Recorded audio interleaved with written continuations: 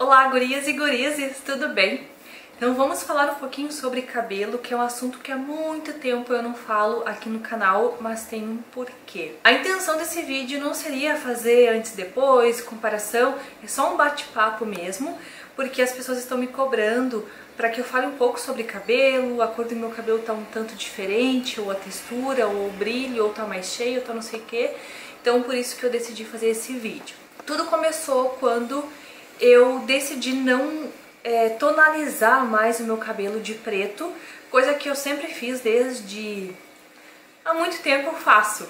E eu decidi não fazer mais porque eu quero é, cortar não. Cortar também, mas eu quero trocar a cor do cabelo, eu quero mudar. Deixar um marrom claro ou um castanho claro, não sei cor de mel, madeira, sei lá, enfim. Mas eu sempre quis fazer isso sem danificar o cabelo, sem descolorir aquele processo todo mesmo, porque eu não entendo nada de cabelo.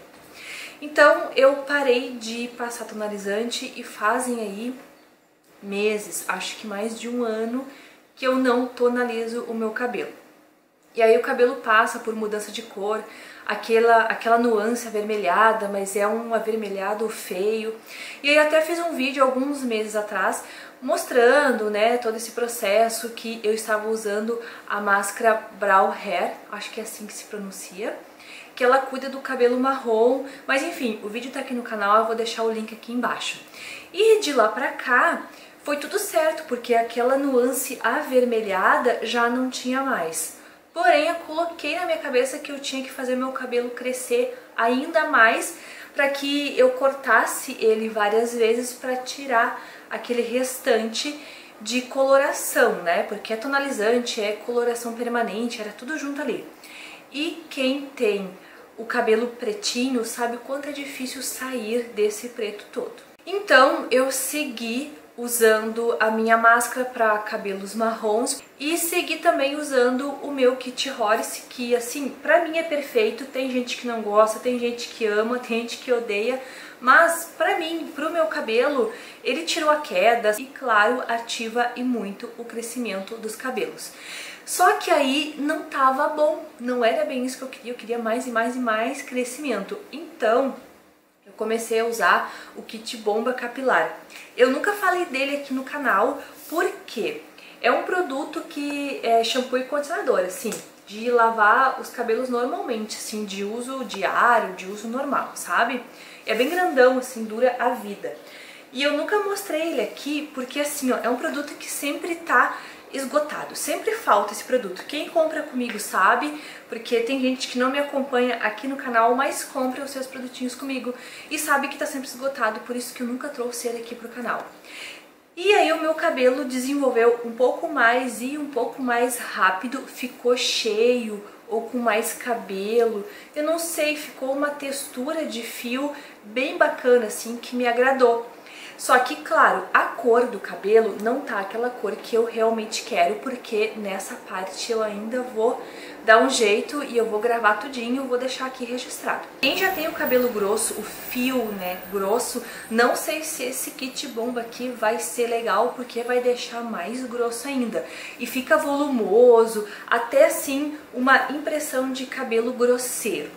É o que eu acho. É o meu cabelo, mas eu realmente acho isso.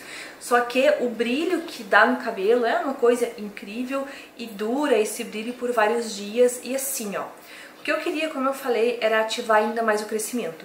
E eu, em alguns meses, acho que quatro meses, cinco, mais ou menos por aí, eu cortei o cabelo várias vezes. Agora ele tá bem grandão de novo e tem é, o tonalizante preto aqui apenas, porque aqui já tem outras cores e algumas partes que o cabelo tá menor ó, ou picadinho, já não tem mais o tonalizante preto. Todas as minhas lavagens eu uso o shampoo Horse, depois eu uso o shampoo do Kit Bomba e aí o condicionador e fica tudo certo. E sim, o meu cabelo tá forte, ele não tá com aspecto bonito alinhado, mas em sentido de fio forte, ele tá. O cabelo também sempre foi meio grosseiro, nunca foi um cabelo alinhado. Lavei ele ontem até e ele tá bem soltinho, porque esse o kit bomba e o horse também segura muito a oleosidade do meu cabelo, então eu tô gostando muito.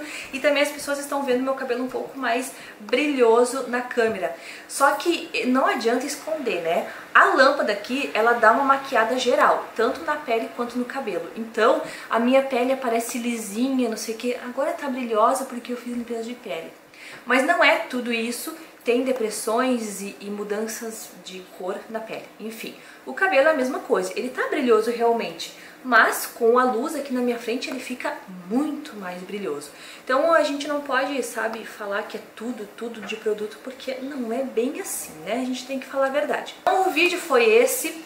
E eu espero que você tenha gostado desse vídeo meio maluco, não sei, meio sem conteúdo, mas a intenção é das melhores, tá, gente? Muito obrigada pela companhia, um beijo pra vocês e até o próximo vídeo.